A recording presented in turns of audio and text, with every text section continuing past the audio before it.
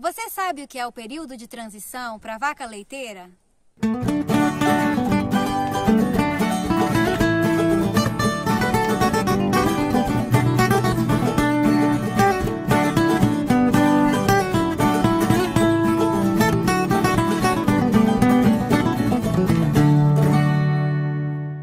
Olá, produtor! Meu nome é Estela Desto. Eu sou veterinária do Instituto de Desenvolvimento Rural do Paraná. Existe um período muito crítico para a vaca leiteira. São as três semanas que antecedem o parto e as três semanas posteriores ao parto. Esse intervalo de tempo é chamado de período de transição. É justamente nesse momento que a vaca está mais suscetível a vários, várias doenças, vários problemas, devido a alterações fisiológicas e hormonais que acontecem nessa época.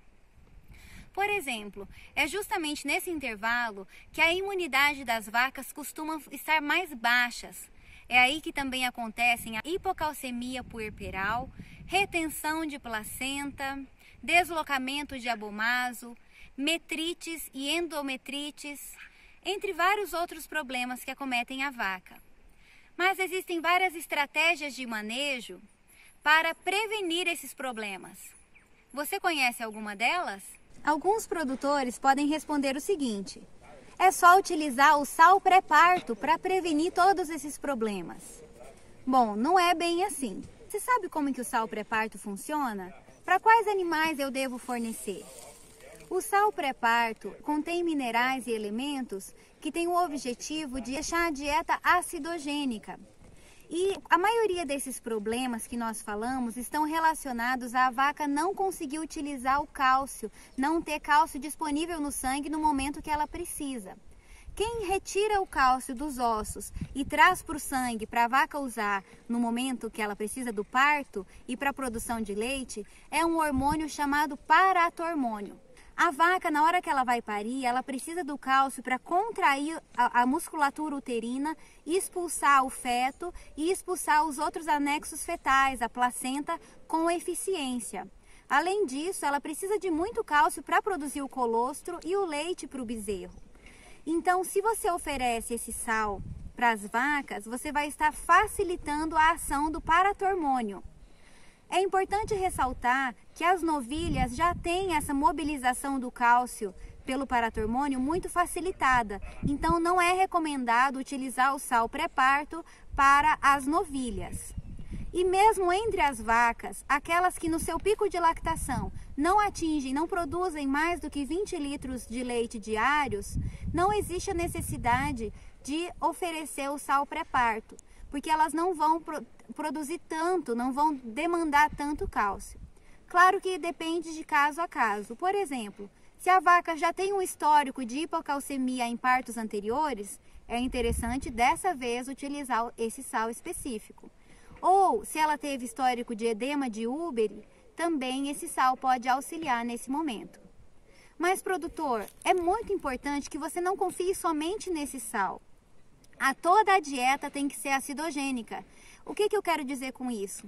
Não adianta dar o sal e fornecer, por exemplo, bicarbonato de sódio ou cloreto de sódio, a menos que haja uma recomendação realmente do veterinário. Por quê? Porque o sódio tem uma carga positiva. É a mesma coisa que acontece com o potássio. O potássio, o sódio, o cálcio, todos eles têm cargas positivas e vão prejudicar esse nosso objetivo de acidificar né, a dieta. Então, por exemplo, se você coloca a, o animal num piquete, numa pastagem, que foi jogado cloreto de potássio recentemente, ela está ingerindo esse potássio, então está indo contra a ação do sal que você está fornecendo. Outro cuidado bem importante que você tem que prestar atenção é não fornecer leguminosas para os animais nesse período, justamente porque as leguminosas também são bastante ricas em potássio. Falando ainda da dieta, para resumir o que a gente comentou, e trazer novas informações, nesse momento, antes do parto, a vaca tem que estar comendo metade do concentrado que ela vai receber depois que ela parir. Então, pelo menos 15 dias para ela poder se adaptar à ração. Se você suspendeu a ração quando secou a vaca, 15 dias, 21 dias antes dela criar, você tem que começar a dar novamente a ração e já mais próximo do parto, dá metade daquilo que ela vai ingerir depois. Isso também é importante porque o bezerro está dentro do abdômen da vaca ocupando um espaço muito grande e deixando menos espaço para o rumen. Então a vaca vai ter uma menor ingestão em volume. Você precisa então oferecer uma matéria seca de boa qualidade, uma dieta acidogênica, como a gente falou, e um, um bom concentrado para que ela tenha toda a energia, as proteínas, os minerais, naquela, naquele pequeno volume que ela vai conseguir ingerir. Naturalmente, durante esse período, a imunidade da vaca já está mais baixa. Então, nós temos que evitar qualquer tipo de estresse, porque o estresse leva à liberação do cortisol e abaixa ainda mais a imunidade. É por isso que é importante você criar um ambiente como esse, adequado ao parto da vaca. Nós chamamos de piquete maternidade. Aqui ela tem sombra, tem água de qualidade, já vai receber a sua dieta específica, não tem nenhum cachorro para estressar a vaca, para deixá-la mais nervosa. E o mais interessante é que esse piquete seja próximo da sua casa, para que durante a noite ou para que você consiga acompanhar e manejar, auxiliar, interferir no parto se houver necessidade, mas principalmente para monitorar e acompanhar a vaca mais de perto, para evitar algum, muitos daqueles problemas que nós comentamos. Quanto tempo eu posso esperar para ver se a vaca vai conseguir parir sozinha ou eu vou ter que fazer algum tipo de intervenção? Chamar algum veterinário? Entre uma hora e meia até duas horas é normal que a vaca demore para parir, principalmente se ela for primípara, que é a vaca de primeiro parto. As vacas multíparas têm um pouquinho mais de facilidade. Mas então, se você esperar até esse momento e ver que ela não está conseguindo, aí é a hora de intervir. Para encerrar os cuidados do período de transição, falando agora do pós-parto, é muito importante que a vaca esteja recebendo no coxo uma dieta balanceada para suas necessidades, de acordo com a sua produção individual.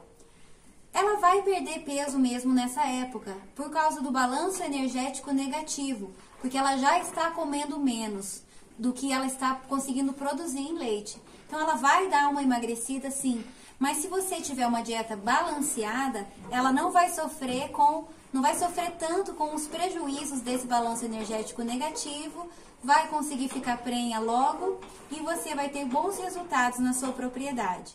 Esses então são os cuidados com a vaca leiteira no período de transição. Esperamos que as suas dúvidas tenham sido esclarecidas se você gostou do vídeo, compartilhe com algum amigo, com outro produtor. E qualquer dúvida, procure o escritório local do seu município do Instituto de Desenvolvimento Rural do Paraná. Muito obrigada!